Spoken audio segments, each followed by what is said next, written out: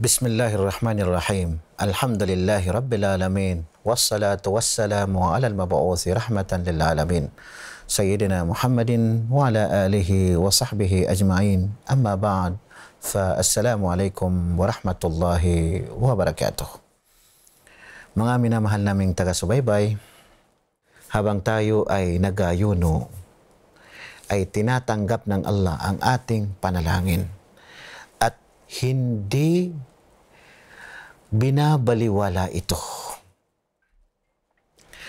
Kala Rasulullah sallallahu alaihi wasallam, sinabi ng sugo ng Allah sallallahu alaihi wasallam, Thalathatun la turaddu da'watuhum.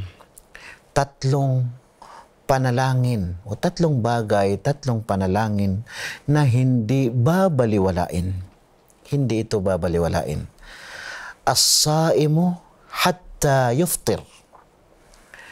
Ang panalangin ng taong nagayuno hanggang hindi pa tumigil sa kanyang pagayuno, hanggat hindi pa mag-iftar.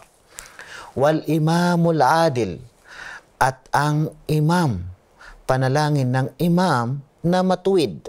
Wal mazlum at ang panalangin ng mazlum, ibig sabihin ay yung taong naaapi.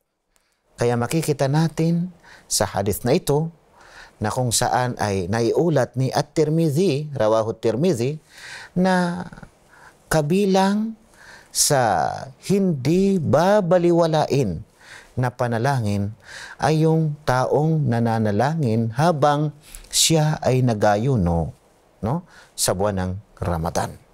Mga kapatid, hanggang sa muli, wa akhiru da'wana anilhamdulillahi rabbil alamin.